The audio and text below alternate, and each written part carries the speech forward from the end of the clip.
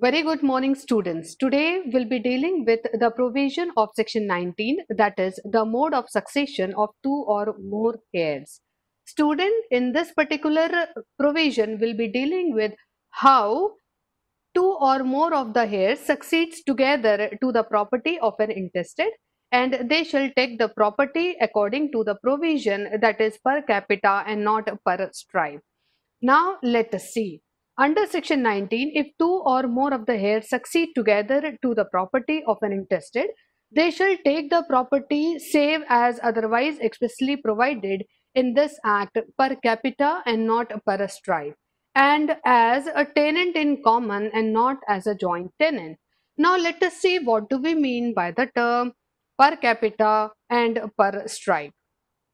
Per capita means property will be transferred from father to son or a daughter.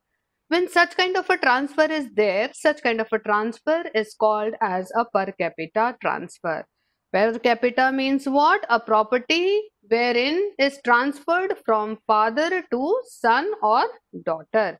Such type of a transaction is called as per capita. Next is if we take into consideration per strips. Per strips या per stripes means what? When the property is transferred from grandfather to grandson or a granddaughter.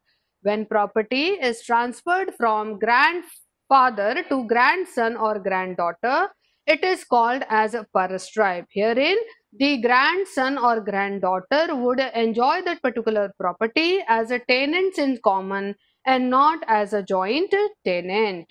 Now, what are the important things which we have to keep it in mind? Firstly, here the demarcation has not been made. Here the demarcation has not been made. Joint tenant में demarcation किया हुआ होता है but यहाँ पे जहाँ पे tenant in common है वहाँ पे डिमार्केशन नहीं होता है प्रॉपर्टी का So students, this was a provision relating to section 19. I hope you have understood the concept. Thank you very much for attending this session. Thank you.